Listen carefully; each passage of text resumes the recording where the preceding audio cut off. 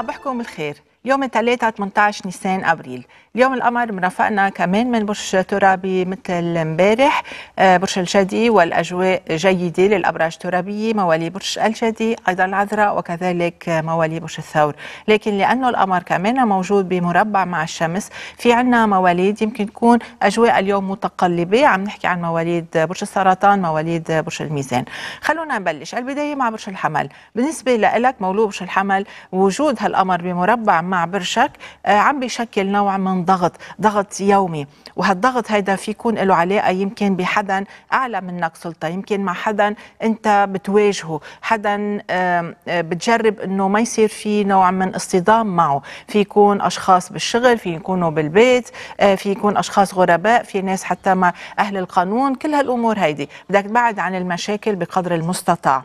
تبقى المواليد يلي عندها بعض الظروف الجيدة نسبيا 17 و18 نيسان أبريل. بنتقل لبرج الثور.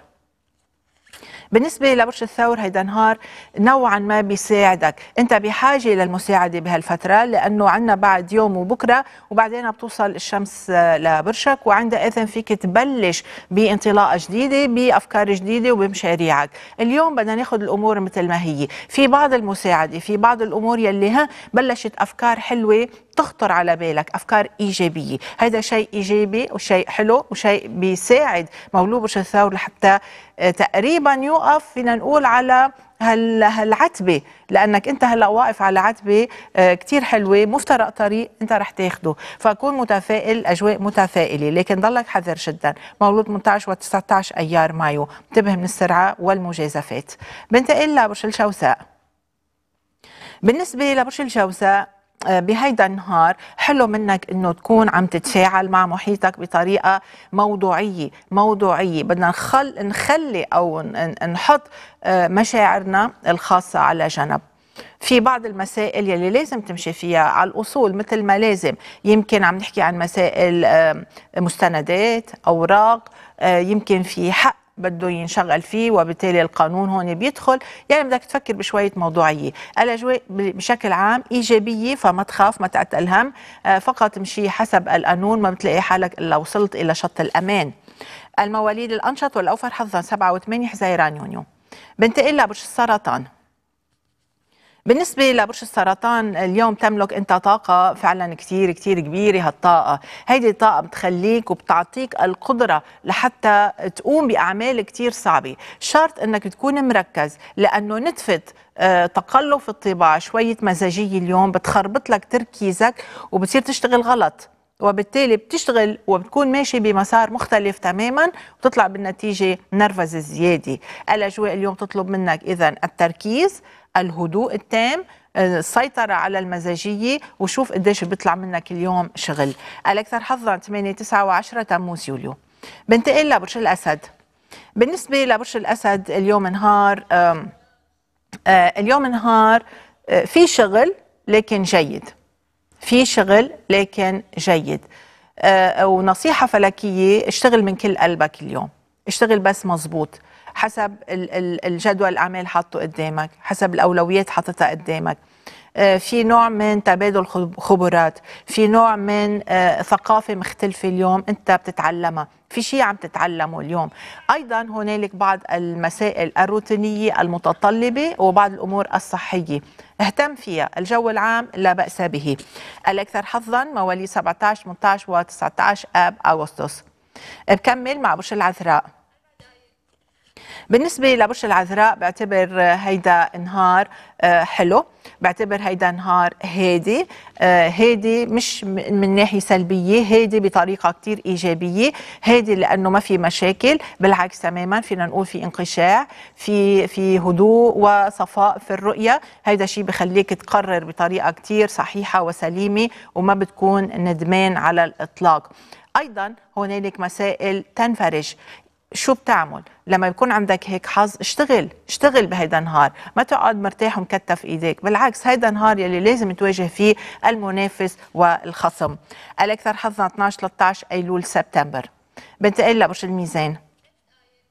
مولود برج الميزان ما تمشكلك خاصة مع الأهل والأقرباء والناس اللي بتحبهم. يمكن أنت مثلا بتستحي إنك تعبر عن رأيك قدام الغرب وبالتالي بتروح بتعصب وبتفش خلقك بالناس الأقرب لإلك. هون بصير في شوية مشكل ببيتك أو مع أشخاص اللي بتحبهم فطول بالك.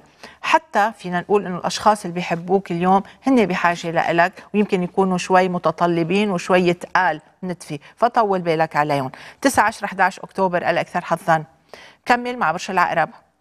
بالنسبة لك اليوم مولود برج العقرب؟ أنت سريع سريع سريع جدا. يمكن ما حدا يلحقك لا بأفكارك لا بتحركاتك لا جسديا ولا فكريا. اليوم مولود برج العقرب؟ أنت بتقدر تسيطر على أمورك. وهذا شيء كتير منيح هذا بونس لك اليوم. آه هيدي added value لك روح على الامتحانات ما تخاف. روح على الاجتماعات ما تأجلها. على الإطلاق. الأوفر حظا 11 و12 نوفمبر تشرين الثاني. كمل مع برج القوس. بعدك من الربحانين. بعده مولود بش القوس من الأشخاص اللي قادرين إنه فعلا يستوعبوا الأمور ويحولوا الأمور آه، لمصلحتهم. هذا نهار يمكن يضمن لك ربح يمكن تكون آه، آه، مكالمة يمكن يكون فكرة يمكن يكون جواب. هنالك حلحلة هنالك تسوية وما بتكون إلا راضي. الأكثر حظا 16 17 18 ديسمبر. بنتقل لبوش الشدي نهار كتير مهم لمولود الشدي لأنه القمر ببرشك من امبارح اليوم وباقي لبكرة وحدة الظهر توقيت بيروت. شو معناتها؟ معناتها قادر تحرك الأمور وتقلب الأوراق وتقلب الطاولة فوقاني تحتاني على ذوقك خاصة بمسألة شخصية بتعنيك أنت شخصيا. قادر إنك فعلا تبت بمسألة تعنيك أنت شخصيا. يمكن تكون صحية يمكن تكون عائلية يمكن تكون فقط لك أنت.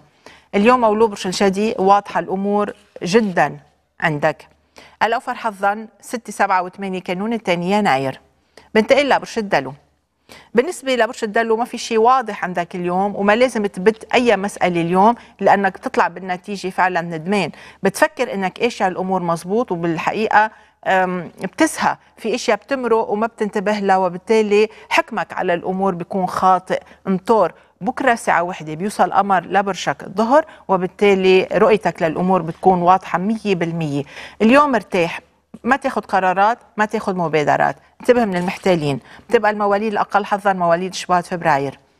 بنتقل لبرج الحوت مولود برج الحوت اليوم بعتبره نهار ناشط بعتبر هيدا نهار فعال بعتبر هيدا نهار مهم جدا جدا جدا لحتى تكون عم بتشارك. ما تقعد لحالك وتسكر البواب على حالك وما تحكي مع حدا. بالعكس اليوم لازم ترد على كل الناس لازم تحكي ولازم تتفلسف ولازم تعطي رأي ولازم تشارك. نهار إيجابي آه شرط إنك تكون موجود ضمن مجموعة. مش لحالك. المواليد الأكثر حظا نسبيا مواليد أدار مارس. بختم مع مولود اليوم. بالنسبة لمولود اليوم سنة كتير مهمة سنة بتغير فيها موقعك الاجتماعي أو حتى المهني أو يمكن الأكاديمي. في يكون للأفضل والأرجحية للأفضل. نيسان أبريل أب أغسطس ديسمبر هني أفضل الأشهر. إلى اللقاء. بكرة أبراج جديدة. bye bye.